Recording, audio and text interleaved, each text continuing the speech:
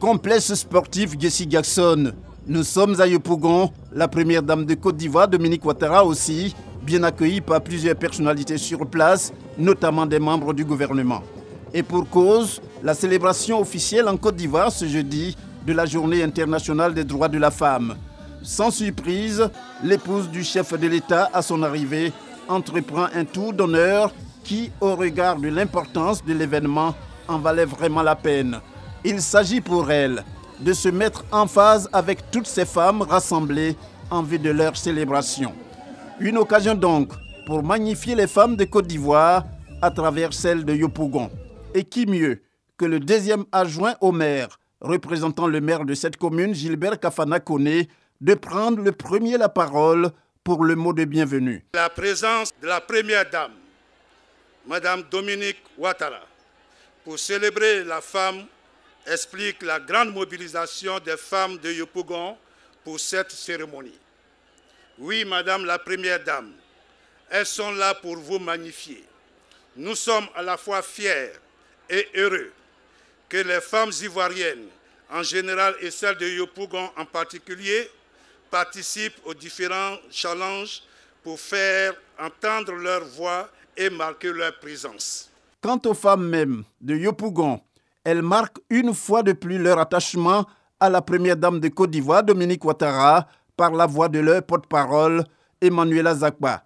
Nous sommes ici nombreuses, mobilisées, heureuses, parce qu'une grande dame au grand cœur, une dame dont la générosité traverse plusieurs générations de femmes, est parmi nous aujourd'hui pour célébrer les femmes de Yopougon. Oui, notre maman, vous avez toujours cru en nous, au potentiel de vos sœurs, de vos enfants, de vos filles. Merci de faire confiance en vos sœurs. Maman Dominique, vos bras sont assez larges, assez grands pour nous couvrir de cadeaux, de financement pour nos projets. Oui, vos bras sont assez larges pour couvrir toutes les femmes de tendresse et d'amour. Merci, maman chérie. Jean-Marie Vianney Ouedraogo, lui, est pour la circonstance le porte-parole du système des Nations Unies. À ce titre, il indique que les Nations Unies soutiennent les actions menées par les autorités ivoiriennes pour la promotion des femmes. Le système des Nations Unies, par ma voix, vous exprime toute sa reconnaissance pour votre engagement continu en faveur des droits des femmes en Côte d'Ivoire. Madame la Première Dame, vous le savez, la réalisation des objectifs de développement durable, particulièrement ceux relatifs à l'égalité des sexes et l'autonomisation des femmes, exige des changements en profondeur, des approches intégrées et des solutions nouvelles. Les Nations Unies, par ma voix, voudraient saluer encore une fois de plus les efforts du gouvernement de la Côte d'Ivoire pour l'adoption de nouvelles stratégies nationales pour le développement numérique dans le pays et la mise en place de diverses plateformes pour les jeunes afin de faciliter leur formation et leur insertion sociale. Nous sommes aux côtés de la Côte d'Ivoire afin de contribuer à relever les défis liés au numérique et exploiter le potentiel existant dans ce secteur pour l'autonomisation effective des femmes et des filles. C'est l'occasion pour la ministre de la Femme, de la Famille et de l'Enfant d'exhorter et encourager les femmes à tout mettre en œuvre pour prendre la place qui est la leur au sein de la société. Dans son rôle d'accompagnement, le gouvernement sous la haute égide du président de la République, son Excellence M. Alassane Ouattara, travaille sans relâche à travers plusieurs initiatives pour donner aux femmes les compétences adaptées en vue de promouvoir leurs droits au digital et en les rendant plus compétitives au regard des exigences de l'économie numérique. Ainsi, avec les perspectives qu'offre le numérique, le gouvernement encourage les actrices et les acteurs concernés à intensifier l'éducation numérique inclusive et invite les femmes à consentir des efforts supplémentaires en vue de renforcer leurs capacités en matière d'utilisation du numérique pour mieux saisir toutes les opportunités. Une présence tout aussi remarquée, celle du président de l'Assemblée nationale, Adama Bictogo, venu en tant qu'invité spécial de la Première Dame. Madame la Première Dame, vous êtes l'expression dynamique. Vous êtes au quotidien.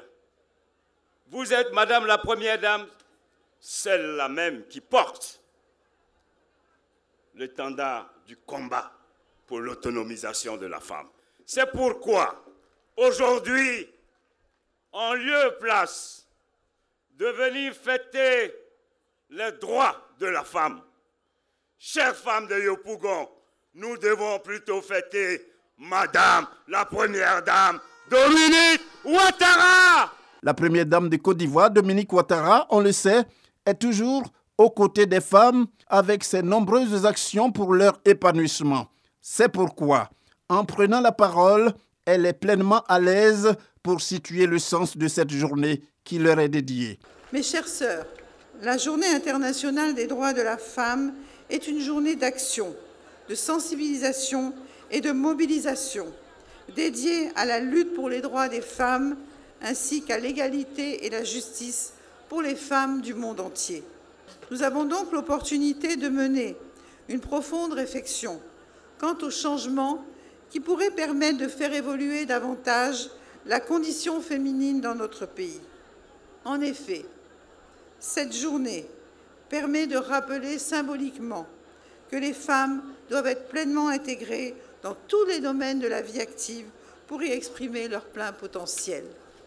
Cette année, le thème retenu sur le plan national pour la Journée internationale des droits de la femme est Innovation technologique et digitale, levier d'inclusion sociale et économique des femmes en Côte d'Ivoire. Ce thème nous interpelle tous, hommes et femmes, car nous sommes dans une ère nouvelle dans laquelle les technologies de l'information jouent un rôle très important dans la vie économique. En effet, Internet et les réseaux sociaux modifient nos modes de vie, nos façons de travailler ainsi que nos relations sociales. C'est pourquoi nous, les femmes de Côte d'Ivoire, ne devons pas nous tenir en marge de ces temps nouveaux.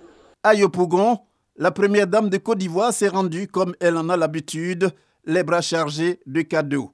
Des nombreux dons aux populations, notamment des non-vivres, comme des équipements scolaires et sanitaires, en plus des dons en nature, le tout évalué à plus de 500 millions de francs CFA, sans compter le financement additionnel de 500 millions de francs CFA octroyés pour des activités génératrices de revenus.